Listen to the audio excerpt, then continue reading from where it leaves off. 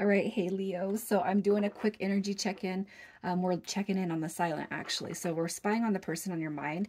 Um, and this is going to be a complete read on their energy and their energy alone. Okay, so um, you guys will feel this um, read and you'll connect with it in your soul. Otherwise, check your other placements, Moon, Rising, Venus, or check the um, uh, the sign of the person that's coming through your mind space, your heart space. All right. Also, too, there's some links in the description about the book I wrote on my twin flame journey, you guys. Um, it's more about the healing aspects, more so than a love story. So there's that. It just talks about how I got to um, this point today. So I'm going to start with their energy. We're going to, I'll pull as much as um, I can about this person. All right, so, oh, look at that. You got Aries coming through right there. You guys could feel deeply connected to this person as in twin flame. Um, all of the spiritual signs are coming out in one bang. You got Gemini, you got Aries, Leo, Sag, you got Aries, and then you got this Eight of Cups, which is going to be uh, Pisces. Um, Pisces. So um, those are the signs that are coming through here. Um, I want to say that um, it's funny because this is actually the first um, sign that I've read that it just, it's like popping out like bam, right? Um, so what I want to say is um, this person, um, their energy, um, you know, this Two of Wands, um, it's, it's my twin flame card, but it's also a card about choices. And it could be that this person has chose or made the choice to walk away from the connection. Um, or it could be that you've, um, you know, kind of suffered um, some in and out energy, push and pull energy, um, you know, I feel like with the Page of Wands, this um, is a depiction of new spiritual journeys. It's a spiritual path, spiritual development. Um, it's also, um, you know, removal of self-limiting beliefs. Uh, it's freeing the spirit, and it's somebody who's discovering their limitless potential.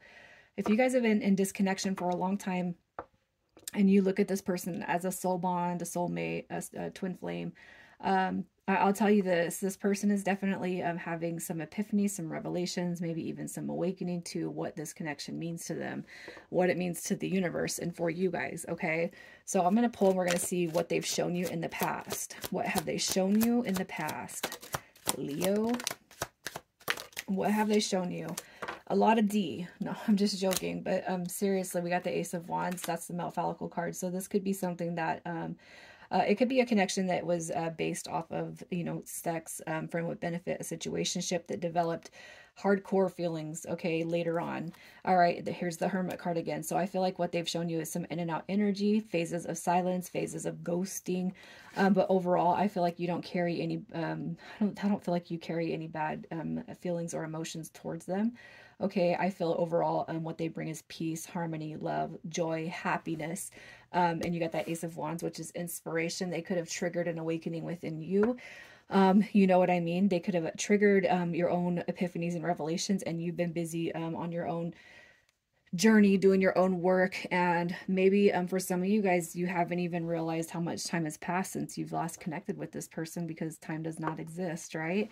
Um, the ten of pentacles um, money stability it could be too that this is a reflection of what they lack or what they don't have. I mean it could be that this person has uh, placed more of, of a focus on material aspects in life okay? So um I'm just gonna see what it how how it is they're feeling about you right now how this person feels about Leo. Oh, yeah. You guys, this is crazy. I have never seen this many synchronicities. All right, very, very conflicted. Okay, very, very, um, I'm going to say wounded. All right, but where the wounds step in, and it's not that you've caused them. Um, you know, it could be mutual. It could be they caused, um, but they, they, you know, how, how they're feeling about you right now is very guarded. And it could be because of them, their lack of it of uh, coming towards you, their lack of approach. Okay, and it could be that you're over here with this high priestess energy. Um, you know what I mean? How they feel about you is that you are a divine um, counterpart, divine masculine, divine feminine. You belong in their life. They know that you're here for a purpose. Okay, but um, that is going to be very scary energy. And I'm sorry to say that because you guys may have heard that before, but I feel like they're scared of uh, what this connection actually means. Um, it's an evolution connection. That's what I see here. Um, and I can't spin this no other way. Um, so if you feel like you've evolved spiritually and you've grown spiritually um, and you've overcome a lot of obstacles when it comes to love, um, relationships, how you see yourself, uh, I feel like it kind of, um, it, it definitely intimidates this person, but that is not a reason, you guys, in my book, that is not a reason to stay away. If anyone, some, if anything, a person should want to step in, evolve, and grow, you know, just as much. Um, unfortunately, I feel like in 90% of the cases I see on connections like this, it does not happen. Instead of healing, they run. Okay. Um, and it could be a man or a woman. It does not matter. Um, in, in both cases, they run away because they're not ready to heal. Um, a lot of people at times think that they don't deserve um, the unattainable, which is to me, it's a red flag because everybody should want the best for themselves. So let's just see what's stopping them from contacting you. What is stopping them from contacting you? You could be over there just living your best life. Um, that's kind of what I see with that sun card. All right. You could just, it's almost like this. Yeah. You're healing, you're evolving, you're growing, you're moving into happiness. You're moving into contentedness. All right. Um, with the hangman card coming through, I don't know where I fit. I don't know where I sit um, when it comes to your life. And it could be because you are ultimately, authentically living a life that you can say, this is the best version of myself I've seen since I've been born, right? I can't help but feel like they're not reaching out because um, they feel like you're leaving them behind. They feel like uh, you're moving away from them. And this is what was that, you know? Um, they're confused right now. I feel like they're confused. They see you healing, they see you grow growing, evolving. Um, they see your willpower, your strength, your happiness, your success. And it's almost like they're kind of seeing that from a distance, okay? So let's just see. And I kind of know um, because of the dynamic that comes through here, um, I kind of know what the intentions um, were and are because I've experienced this dynamic. But uh, I'm going to pull to see what their intentions were beforehand. And you're going to, you'll, you'll know. It's Again, it's going to sit with you. So their intentions um, beforehand um, when you guys were coming together. All right. So you guys um not like that. Okay. So you got your eight of coins um, you got your ten of wands and then we got the wheel of fortune card coming through. So I, I feel like this person had every intention to kind of make things happen with you. Okay but what i'm going to say is this um and it could be too that their intentions were focused on money. Again stability career. I got to have my stuff together before i can have a relationship you blah blah blah right um it, so i feel like their intentions it's like almost holding you um at an arm's distance holding on you know hold on loosely. Just don't let me go right? I can't help but feel like with the energy that's coming through here when i see the wheel of fortune card you guys again it's like a spirit guide card for me. Um and, and the chariot and the wheel of fortune are very powerful for me for some reason. Because i feel like the, the spirit guides and the angels of this connection are stepping in and saying whoa y'all got to peel away, okay? Because if you're evolving and growing, Leo, and you're stepping into what you know your purpose to be here in life, if you're stepping into that and you're transitioning and this person's not, and they're more focused on the material 3D, uh, you know, the, the shit that don't really matter, okay? It does matter because we have to be responsible, but if they're more focused on that, um, what they're doing is they're kind of blocking their own blessing. And I feel like the universe steps in, you know, your guides, your angels, they step in and say, we're going to pull you guys apart now because this one's growing and, and we don't want this one over here to pull this one back down. All right. So that's kind of how I see it, a universal step in. So let's just see um, if they're coming back, what the next 30 to 60 days looks like the next oh yeah look at you guys man that is you just got like this oh wow. You got your knight. Okay so beforehand focused on one thing um couldn't get it together.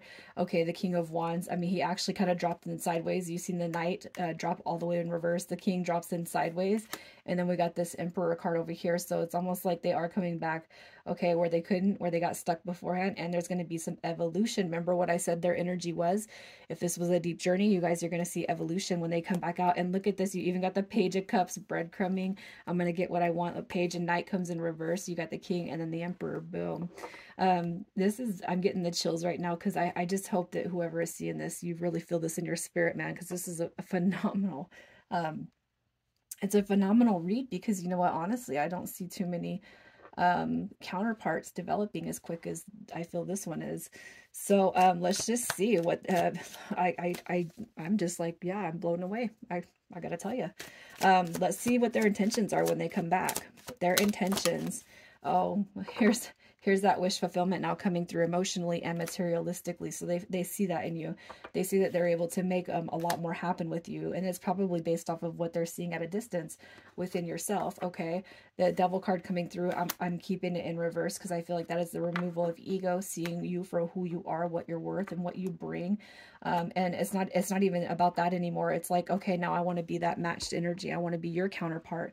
Um, you know, uh, I see you over there and you're making big strides. Now, I feel like for whoever is still here, you're not rolling your eyes at this. You're actually going to be very, very happy and full of sentiment because this is what the soul based journey um, and the twin flame journey and the soul tie journey, whatever you want to call it, that is what exactly what it's about. Okay, so let's just see what the potential is for this to grow.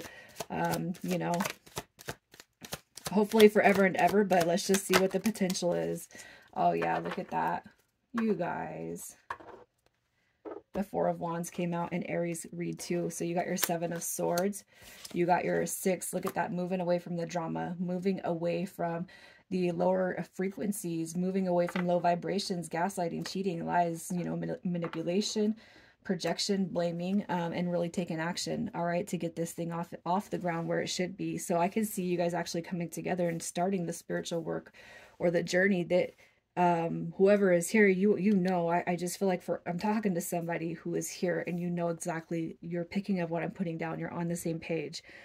Okay i cannot help but feel like you guys are going to start taking action towards that soul level journey that you're here for when this connection is recognized. Um it's beautiful man